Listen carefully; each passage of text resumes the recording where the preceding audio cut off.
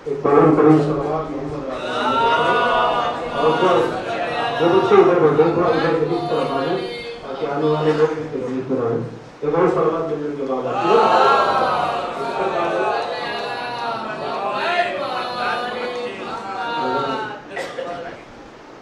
بہت ہی اچھے انداز میں، بہت ہی اچھے اشعار آپ کی سماعتوں کے نظر کر رہے اور آپ محضور ہو رہے تھے لیکن ابھی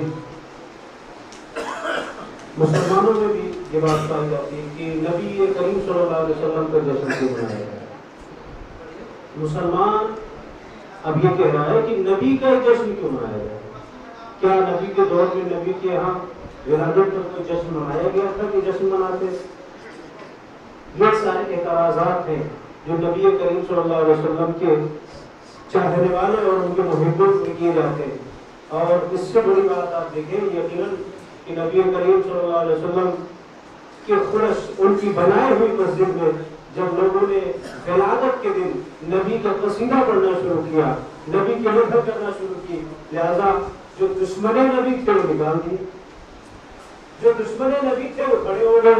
لہٰذا یہاں پتہ ہی چلتا ہے کہ نبی کا محب کون ہے، نبی کا دشمن کون ہے۔ اچھا یہ بھی بڑا تمہیں امتیاز ہے کہ نبی نے کیا تھا کیا؟ اچھا جو نبی نے کیا تھا وہ کر کے دکھاؤ۔ جس کام کو نبی نے کیا تم نہیں کرتے۔ جس کام کو نبی نے کیا تم نہیں کرتے۔ سنت میں اپنی آنکھ کو نم کیوں نہیں کرتے؟ تم نہیں کرتے۔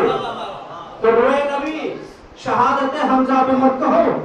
روئے نبی، شہادت حمزہ پہ مت کہو۔ ہم زندہ جاوید کا ماتم نہیں کرتے۔